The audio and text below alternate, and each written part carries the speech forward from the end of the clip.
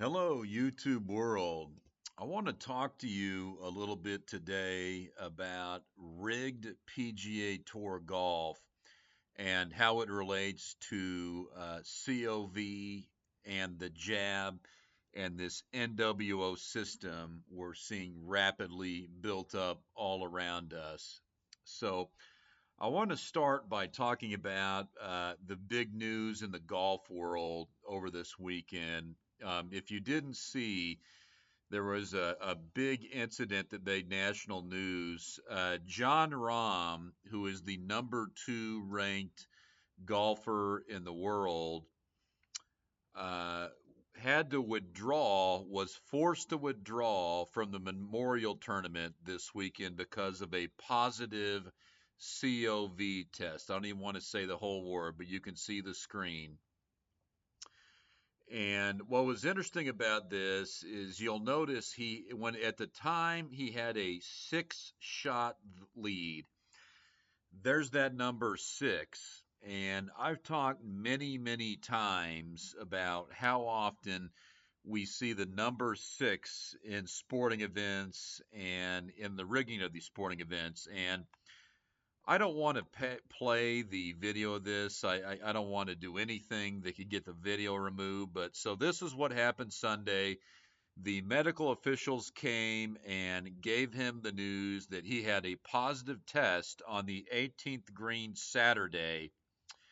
And uh, he put his hands, uh, he put his head in his hands and was very upset, uh, walking off the course and said, Not again. Um, so he had a six shot lead at the time uh, after three rounds, and they forced him to withdraw so he couldn't play Sunday. You know, he almost certainly would have won the tournament. Um, and th- this to me has ritual written all over it. Um, and so let's focus on this number six. I, I, so Jon Rahm uh, receives news Saturday afternoon after the 18th green, at, on the 18th green after completing, and by the way, that 18 is a 666 number. He was on the 18th hole.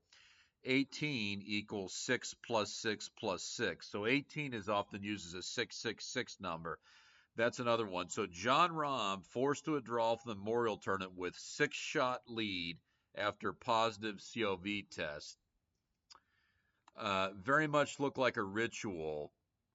Just briefly, I want to talk about uh, the other uh, thing I noticed in the golf world recently um, was Phil Mickelson. Of course, we know won the PGA Championship a couple weeks ago, and uh, you know anyone familiar with golf knows that that that that win gave him his sixth major championship win.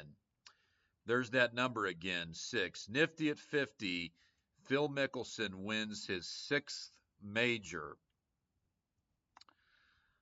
Uh, and here we have a look at uh, the final leaderboard, the results from the PGA Championship.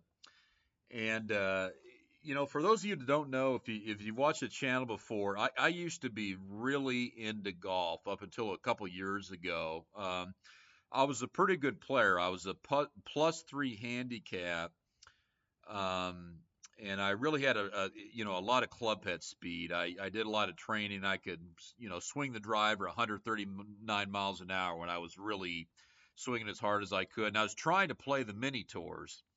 Uh, so I was really into golf. And, you know, for several years, I didn't want to believe that golf was rigged. But the sad truth is, golf is just as rigged as every other professional sport football, basketball, whatever. Golf is completely rigged. Um, it, it, like WWE wrestling. And, and I tell you, it's very naive to believe that Phil Mickelson uh, won this PGA championship without some help, as, as much as we might hate to say that. And so your first big hint was let's look where he finished. Six under, minus six. So Phil Mickelson wins his sixth major, and he does so at minus six.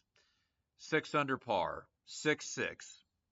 And as we've talked about on this channel many times before, you know, that number, the number of the beast, the number of the devil, six, we see that so commonly using these rigged sporting events. Now, I don't I don't play any golf anymore. I don't watch much golf. I watched just a little bit of the PGA Championship over the weekend a couple weeks ago. And and I don't want to play any coverage for it, but I can tell you it looked very fishy and suspect to me what stood out to me uh, was the scoring looked very off to me. So this tournament was being played at Kiawah Island uh, on the Ocean Course, and anyone familiar with golf, that's a very famous course. And it was played uh, with a par of 72. So they had four par fives. Anyone familiar with golf that watches any PGA Tour at all knows that whenever they play tournaments at par 72, these guys just tear it up. I mean, they usually finish 20 plus under easily. And the scoring seemed so bizarrely high. Uh, you know, I know Kiawah Island, that's a difficult course, and they had the wind blowing a pretty good a couple days, but you know, it just looked very off. You know, we see who finished second. We had Louis Oosthuizen and Brooks Koepka finishing at four under. I don't believe for a second that the best that these guys can do for four days on a par 72 course is four under par. Not for a minute. I don't know. I don't want to speculate, but you know, when you see that, it makes you wonder about sandbagging. When you see the best players in the world not able to put up any more than four under par for four days on a par 72 course.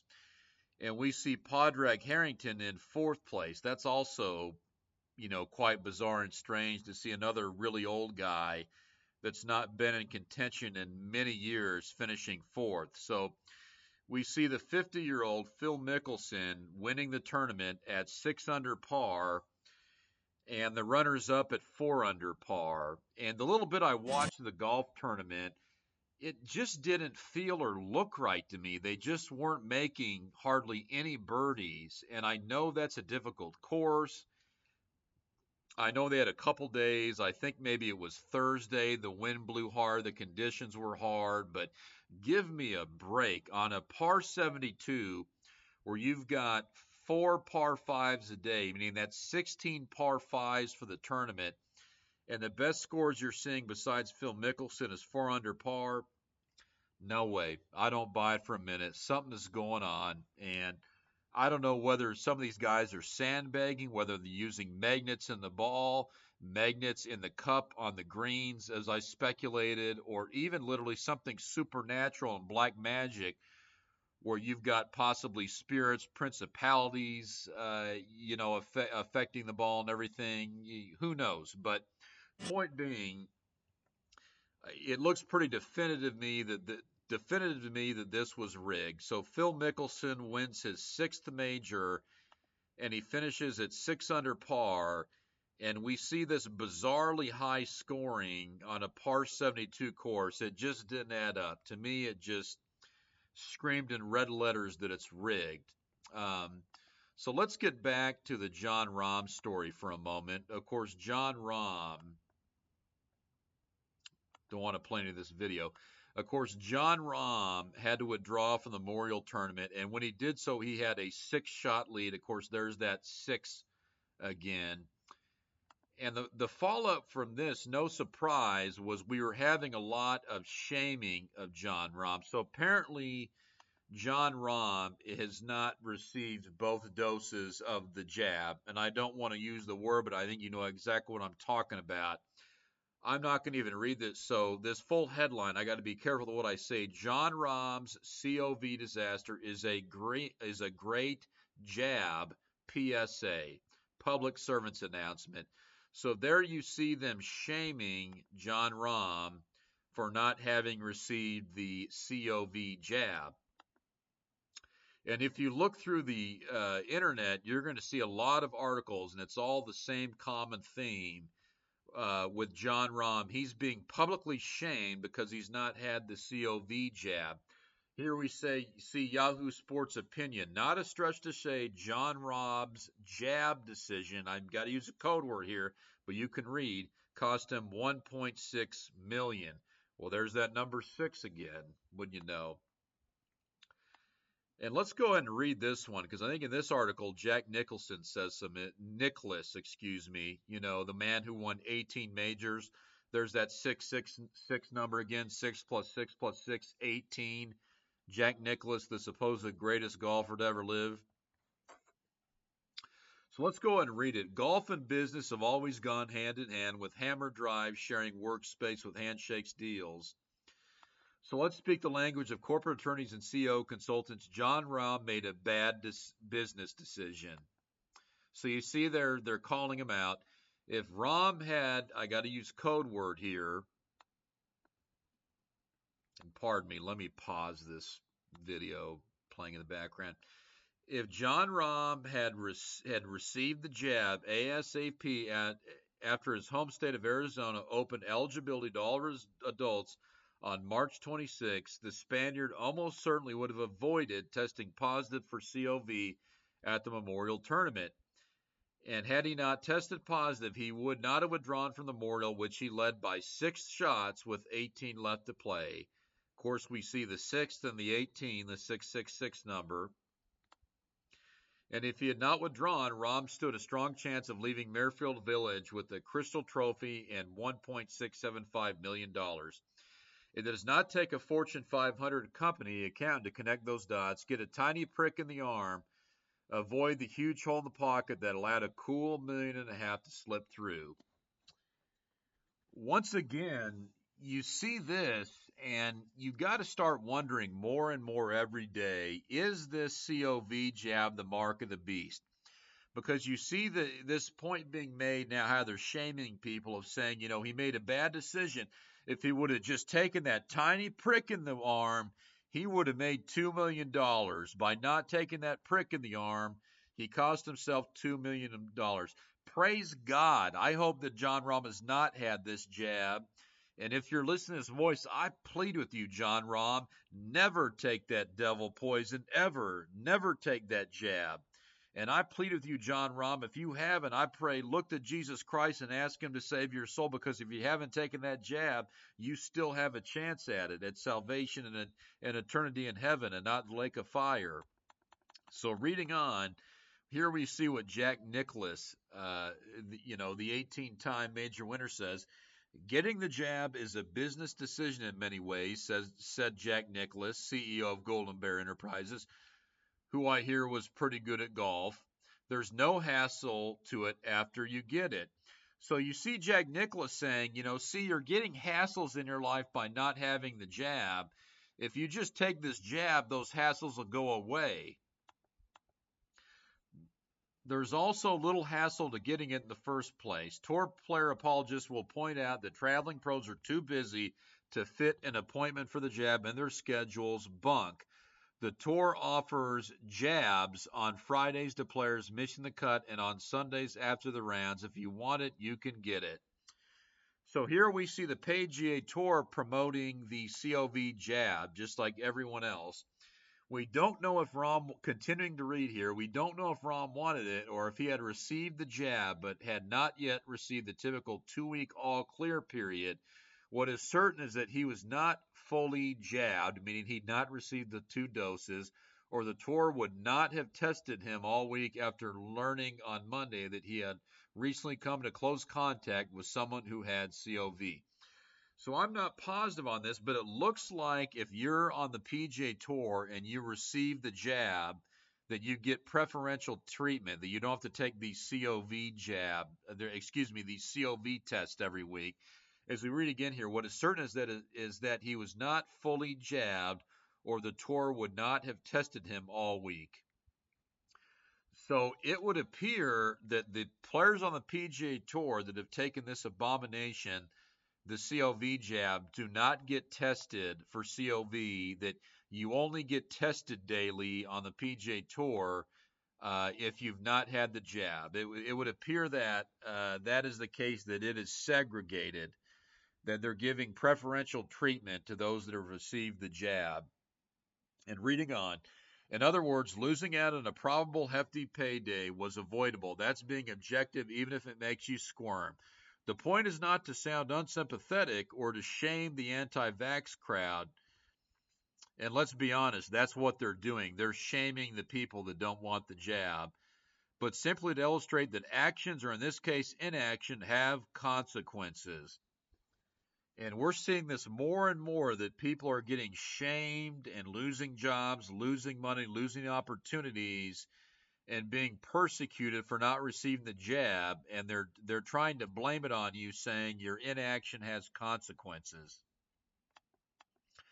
Beyond that, what happened to Rahm reminds us that COV will always try to get the last laugh. It's not enough for the pandemic to kill and injure. It also creates an us against them political culture that turns brother against brother, the COV civil war. What absolute insanity. That is that is the people that run the show doing that.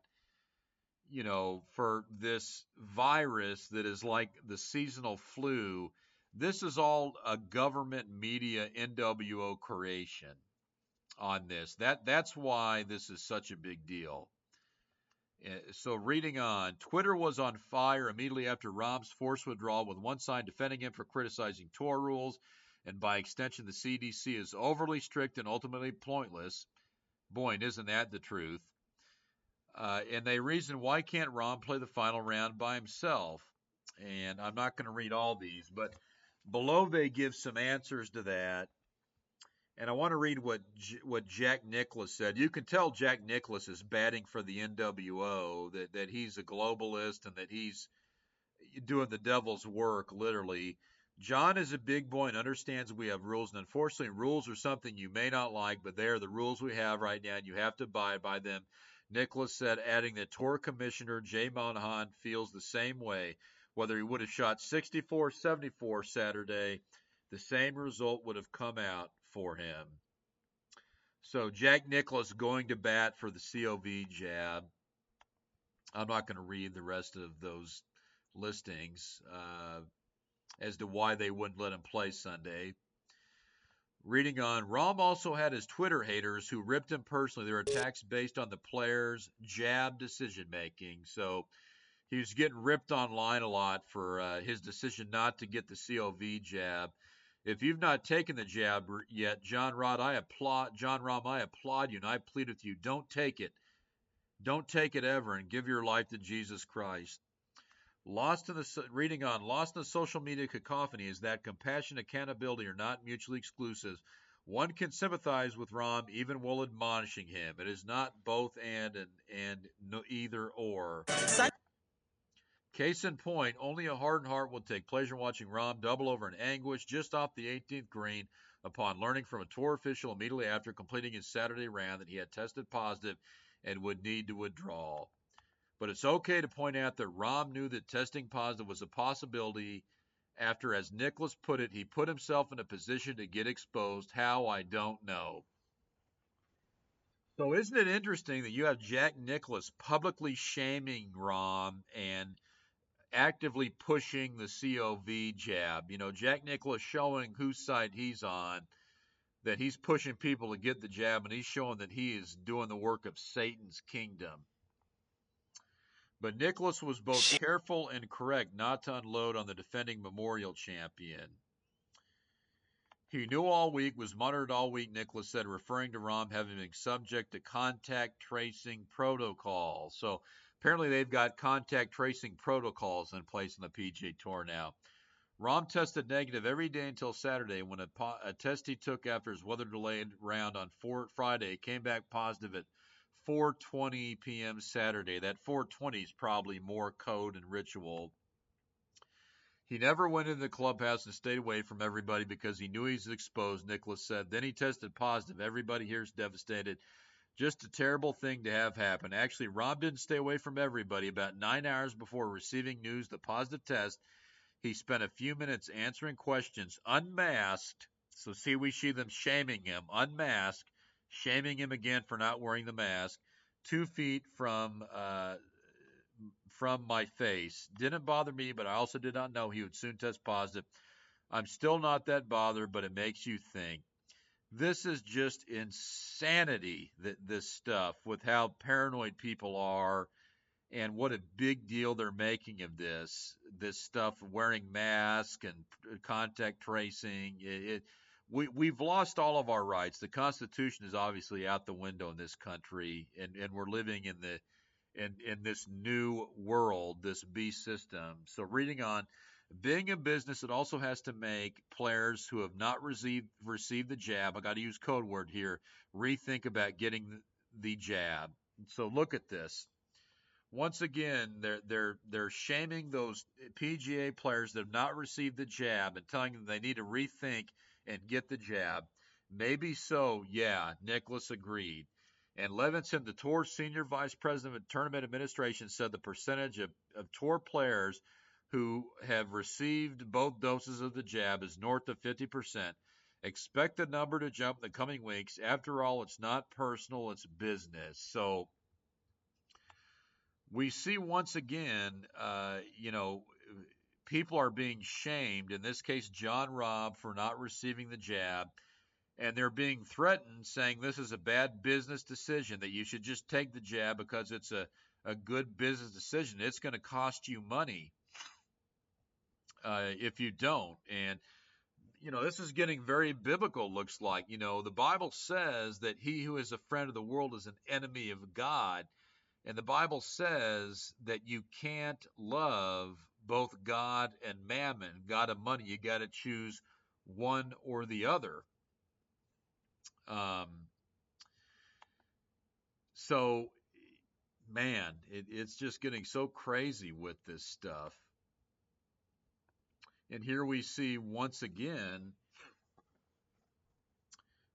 Jon Rahm's jab decision bankrupted him at the memorial. So a whole lot of shaming for Jon Rahm, saying he lost all this money because he's not gotten the COV jab, and they're just shaming him all over the place on it. Um, very interesting. Uh, we're, we're starting to see this. We're starting to see this more and more. How uh, there's segregation and persecution if you don't receive the jab. They're trying to push everybody to take it. I just heard from someone last week up in Indiana that they had a friend that was not able to rent an apartment because they had not received the jab. They're requiring every single person um, to re- to show proof of receiving the jab in order to rent an apartment. And of course, we're seeing this more and more that jobs are requiring it. And it's really starting to make you, you know, like we've talked about before, it's really starting to make you wonder if this is, in fact, and I think it very likely is, truly the mark of the beast. Um, God willing, I'm working on some more videos that I'm going to do soon on the jab and the mark of the beast. But so, you know, uh, just kind of in summary, you know, the the rig golf we see Phil Mickelson winning his sixth major. He finished six under par. The scoring was very bizarre, unusually high on a par 72 course. Then this ritualistic event with Jon Rahm testing COV positive. He has a six shot lead. There's that six number again. He gets the news on the 18th green. There's your 666 number again.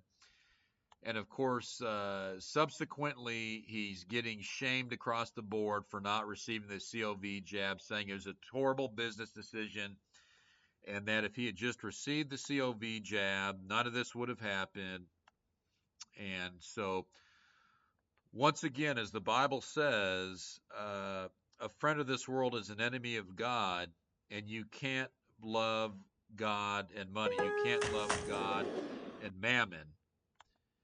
And you know that's the point it comes down to for a lot of people is I, I got to say don't sell your soul for money. We got to be willing to give up everything for Jesus Christ. And I encourage you, Don't take this jab no matter what. You know, this has got to be like it is with me. This has got to be opening your eyes more and more. The more they're pushing this, uh, and the more they're taking our rights away and persecuting eh, people that have not received the jab, you know, who knows how much longer we'll be able to to go on a plane without taking it. And you really wonder if this is going to get to the point where we can't, where you can't go into a store, buy or sell with that. And here we see Revelation chapter 13, verses 16, 17, and 18. And he causeth all, both small and great, rich and poor, free and bond, to receive a mark in their right hand or in their forehands, and that no man might buy or sell save he that had the mark in the name of the beast or the number of his name. Here is wisdom. Let him that hath understanding count the number of the beast, for it is the number of man, and his number is six hundred three score and six. And of course, you know, even in this story, even in this story, we we see the number six coded, six shot lead. They give the news on the 18th green. There's your 666, 6 plus 6 plus 6. So I don't know. I, I'm, you know, God willing, I'm going to cover this a lot more in some videos here real soon on the COV jab, possible being the mark of the beast. But it's looking more and more to me like this this jab may literally be the mark of the beast. You know, particularly if this gets to the point where we can't buy or sell without it. So hopefully we'll have some some new videos on the jab and the mark of the beast coming here real soon. So God bless everyone out there uh, that's watching, those of you that are in Christ Jesus, and I'll talk to you real soon.